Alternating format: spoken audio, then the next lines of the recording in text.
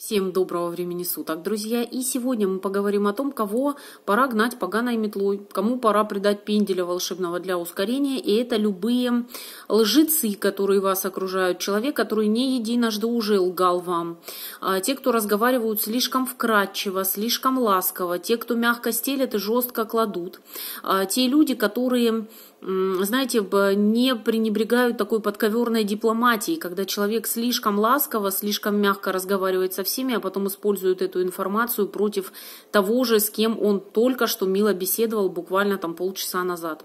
Поэтому вот таких хитрюк, вот таких вот вкрадчивых товарищей гоните как можно дальше от себя. Ну и здесь еще э, в прямом смысле этого слова есть у нас определенный момент. Здесь видите у нас кто?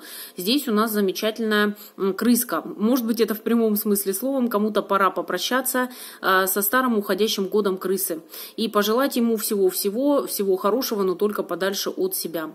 Вот такие моменты тоже могут быть. Поэтому достойно попрощайтесь со следующим годом и с уверенностью смотрите в счастливое будущее. Всем удачи, до встречи, до свидания.